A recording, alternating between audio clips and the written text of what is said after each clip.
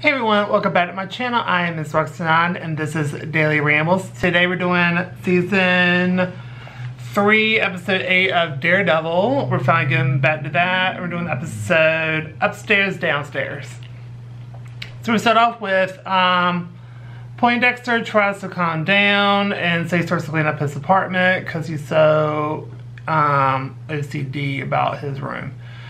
Then Nadeem is working and sees um, Poindexter's shade.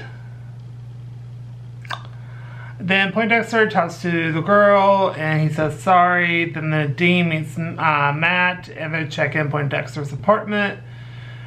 Uh, the Poindexter shade, like, basically he'll look over the footage when he was um, surveying Fisk and how you turn off the thing, um, the cameras and stuff. That's what I meant by shade. Sorry. Anyway, so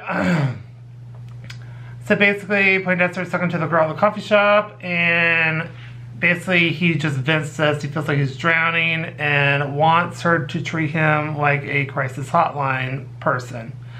So she decides to help, but then we see that someone is watching them. Um, we get uh, knowledge of that through like the camera and the building and the uh, coffee shop. And then we cut to where Foggy and Karen talk, and Karen can't do this anymore, and she wants, um, but Foggy wants her to publish the article. He can't, she can't do that because she got fired.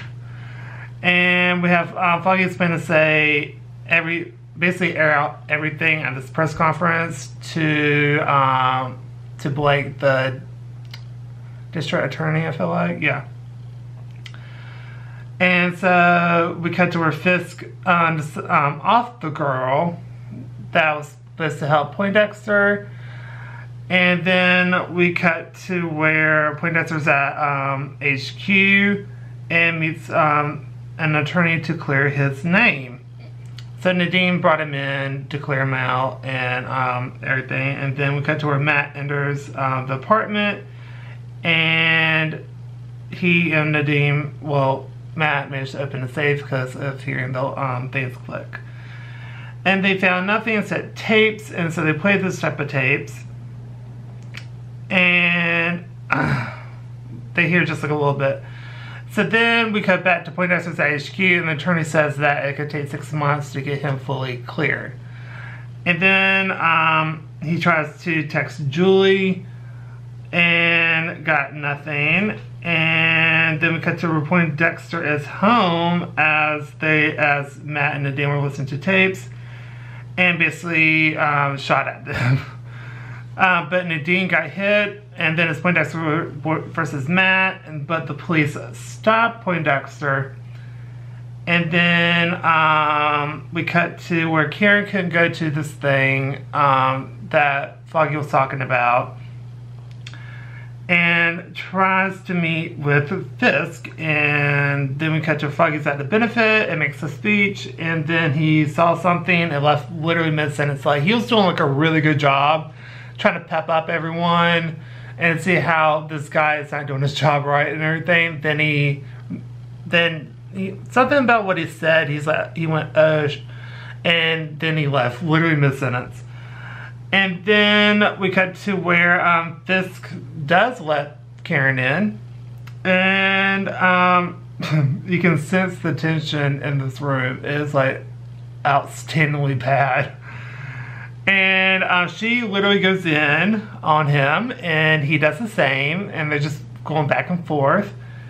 And then she brings up James Wesley and that's what really angered him and she suddenly said that she offed him and it was quick. Benny was, it looked like he was about to do something bad and he, it probably would have happened, but Foggy stopped her and they barged in.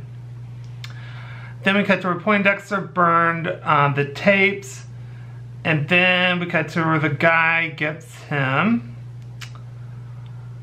And then we cut to, uh, a driver comes and gets him. Then Nadeem is hurt and calls his balls.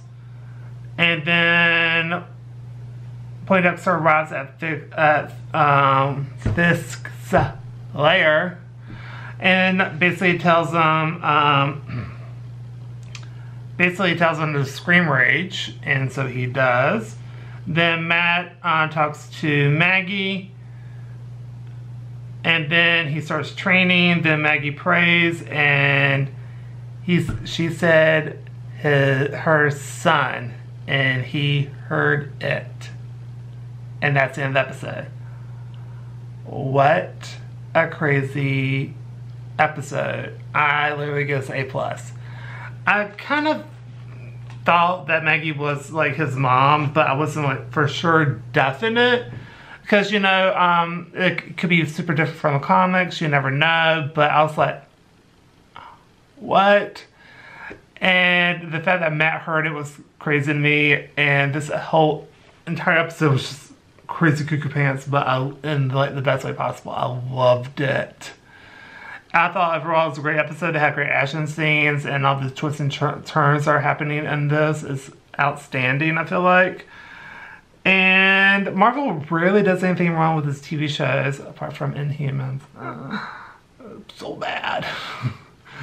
anyway, um, really enjoyed this episode. Uh, like I said, give this A plus, and that's going to do for this video. So if you like this video, please go to like, comment down below, tell me what you think of the episode. Do you agree, disagree?